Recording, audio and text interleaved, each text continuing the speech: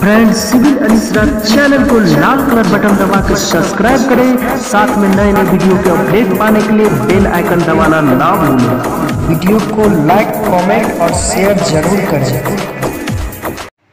Friend जैसा कि आज का मेरा टॉपिक है स्ट्रक्चर में क्यों बकलिंग कंप्रेसिंग और शेयरिंग हो जाता है? ये बहुत इंपॉर्टेंट टॉपिक है। तो प्लीज़ स्किप नहीं होइएगा और समझिए। ये मेरा बीम है। ऊपर वाला ये पार्ट मेरा बीम है और नीचे वाला कॉलम है। ऊपर ये बीम है, ठीक? ये बीम है और ये कॉलम है। तो ये क्यों बकलिंग हो जाता है? कंप्रेशन हो जाता है। और ये क्यों शेयर हो जाता है? तो सबसे पहले हम जानेंगे कि बकलिंग होता है क्या। बकलिंग क्या होता है? जब कोई लोड हाई लोड लगता है क्रिटिकल लेवल से हाई हो जाता है हाई एल्ड स्ट्रेस हो जाता है कंक्रीट में। तो ये स्ट्रक्चर क्या होता? है फेल हो जाता है और डिफॉर्मेशन शेप ले लेता है। तो ये बैंड बकलिंग बैंड हो जाता है। प्रेस में क्या होता है? कि एक ही जगह, एक ही जगह भी मतलब कि कॉलेक्श हो जाता है कंप्रेस हो जाता है। एक जगह गठरी टाइप का फेल हो जाता है।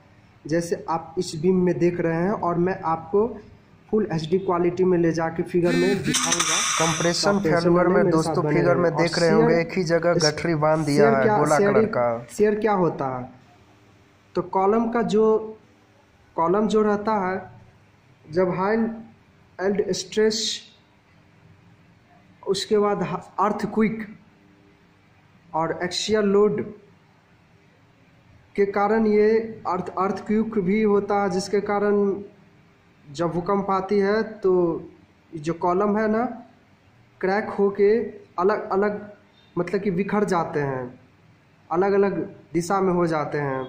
जैसे कि इस डायग्राम में आप देख रहे हैं तो इसका क्या क्या रीजन हो सकता है फेल होने का।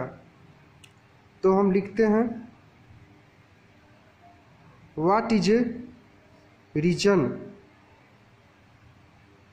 reason behind and of failure structure structure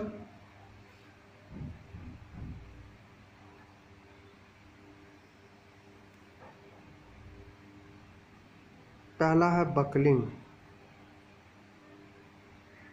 buckling मतलब पहला पॉइंट लेते हैं तीनों चीज़ के बारे में एक ही बार बता देते हैं। सबसे पहला रीजन है अर्थ। क्विक। अर्थ क्विक की वजह से फेल होता है। भूकंप जिसको बोलते हैं। कंप के कारण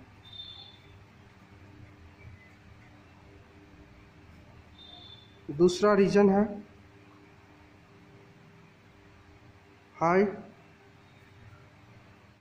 दूसरा रीजन है। High yield stress. स्ट्रेस। तीसरा रीजन है। High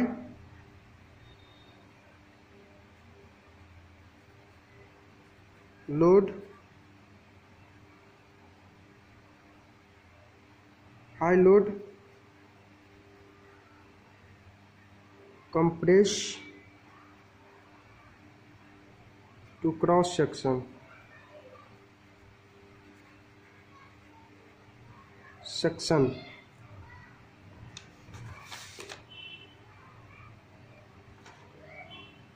चौथा रीजन है concrete collapse due to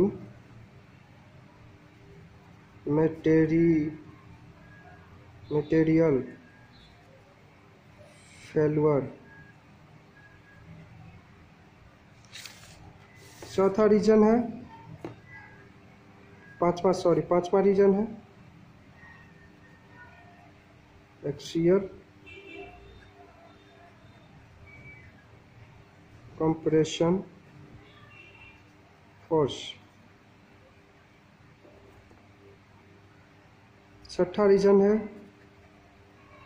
wind load हवा जो, हवा के कारण आंधी तूफ़ान। ठीक, इसके, ये पाँच छः रीजन है, जिसके वजह से हमारा कॉलम में बकलिंग आता है कंप्रेशन आता है, और शेयरिंग आता है।